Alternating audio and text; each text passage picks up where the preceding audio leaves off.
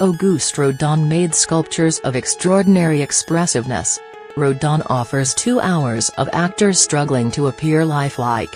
For Vincent Lindon, cast and bearded as the great man in this inert biopic from Jacques Doillon, that task entails gazing intently at statues, busts and naked models, looking gruff and serious, while the camera avoids close-ups of the detailing.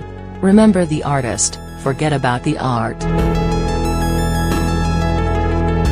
Critics at last year's Cannes Film Festival received Rodin as if they had collectively taken a marble anvil to the head.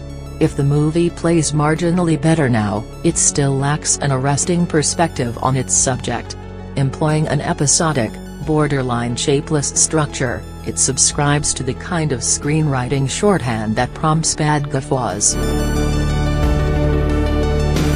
He is coming to life. Rodin's lover and fellow sculptor Camille Claudel, Izïa Higelin, exclaims as her mentor shapes his latest triumph.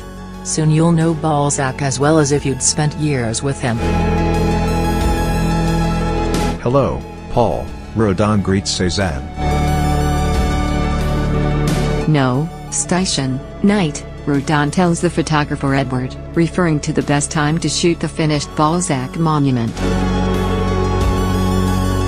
In the Battle of the Sexes byplay between Rodin and Claudel, who struggles to be taken seriously as a sculptor because of her gender, it is possible to glimpse traces of tougher films that Mr. Doillon has made.